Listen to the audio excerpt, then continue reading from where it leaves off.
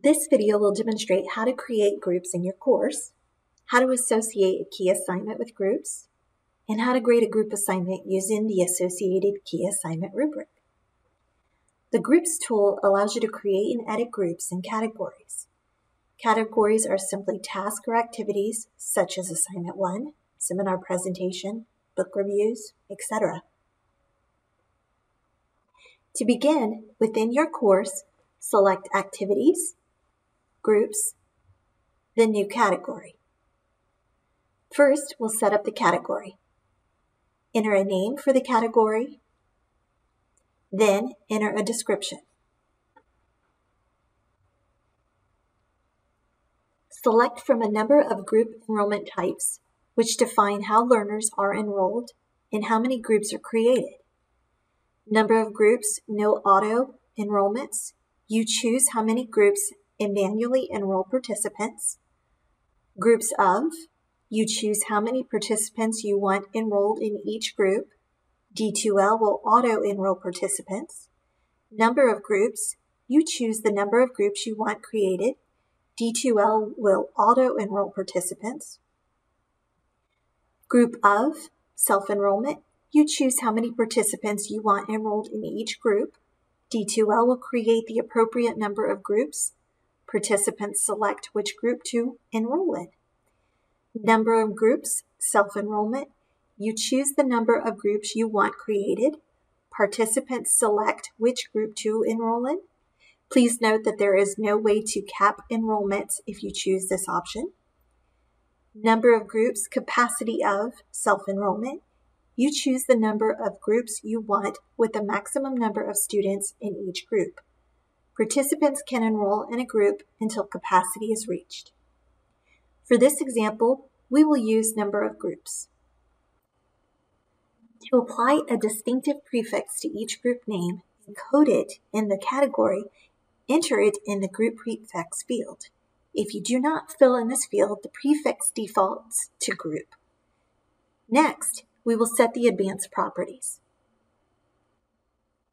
The options change based on the selected enrollment type. Because I chose number of groups, the following options appear. Auto enroll new users. Select this for when new users are enrolled in the course after groups are set up. They are automatically added to the group with the fewest users. Randomize users in groups. This is checked based on the choice of number of groups.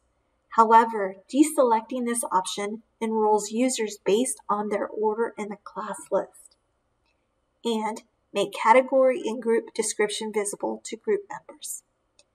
For this example, we will skip the additional options, create workspace, because we already have the assignment set up. Select Save. Next, locate the key assignment and associate it to the groups. Select Activities, Assignments, locate the respective assignment labeled with a KA and parentheses, select the down chevron or down arrow, then select Edit Folder. Scroll to the Submission, Completion, and Categorization section, Assignment Type, and select the radio button or option for Group Assignment. Then select the group category, activity, or task. Select Save and Close. In this final step, we will grade a group assignment with the key assignment rubric select Activities, Assignments, locate the respective assignment labeled with a KA in parentheses, select the down chevron or down arrow, then select View Submissions. Submissions for each group will display in the list.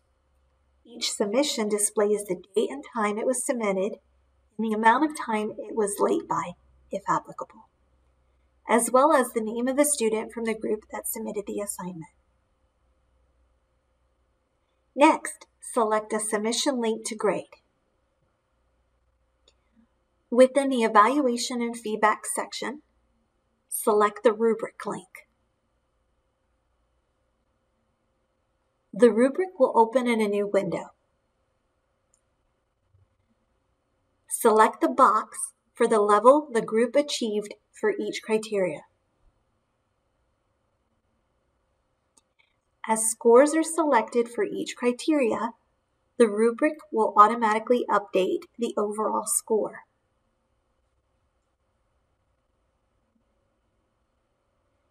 Select Add Feedback in the Criteria column to enter qualitative feedback.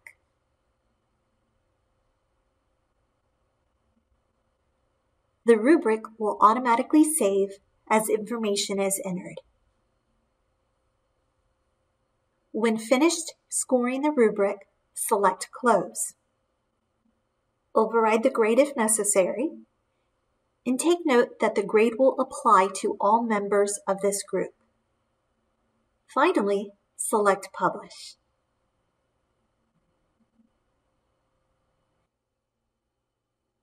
You can either grade the next submission